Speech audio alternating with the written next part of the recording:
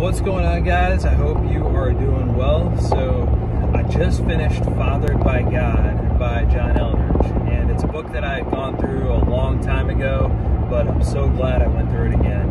Um, he just talks about the different stages in the masculine journey. I mean not that it would be bad for a lady to read but uh, I don't, um, I think maybe like a mother with sons or you know if you want to understand the men in your life better but it's definitely written to men um, about uh, about the stages that, that that God develops us in.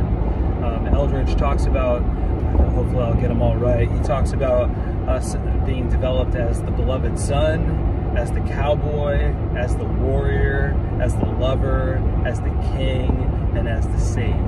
And as he works through each part of the journey, you know, he's not like overly linear about He's definitely real about how like the stages tend to overlap.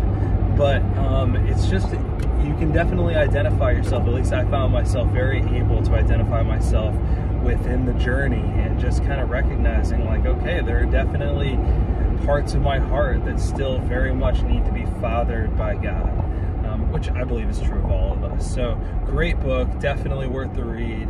Um, and as a father of three sons, it, it, it, honestly couldn't have been more timely. So, um, have a great day, and uh, yeah, I hope this is helpful.